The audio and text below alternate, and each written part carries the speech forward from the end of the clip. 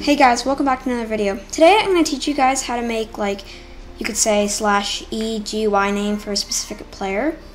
Uh, to type that and I'll show a GUI. This was requested by Venom. And so basically what we're going to start off by doing is you need to download the model from the, or actually go to the, get the model from the description. And then you just go to your inventory. And then just drop in the GUI.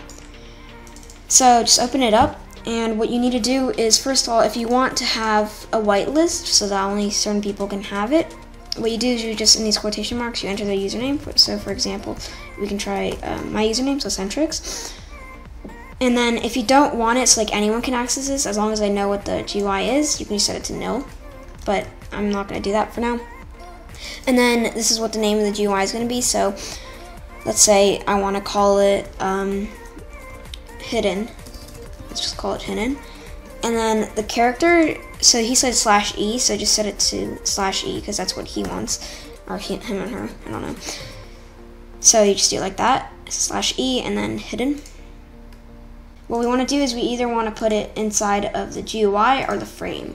So if you if it's frame or GUI, doesn't really matter which one. So for example, I want to put it in a GUI. Make sure to set the enabled to false, and if you put in the frame, just set the visibility to false.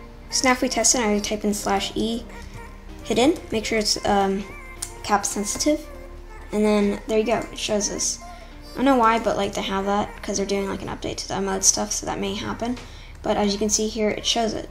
And also it works in the frame, uh, if you want me to prove it to you. So just make sure to uh, set the GUI to enabled again, and then set the frame to um, visible equals false. And then if I try slash E hidden, it opens up. Anyway guys, thanks for watching, like and subscribe, and I'll see you in the next video.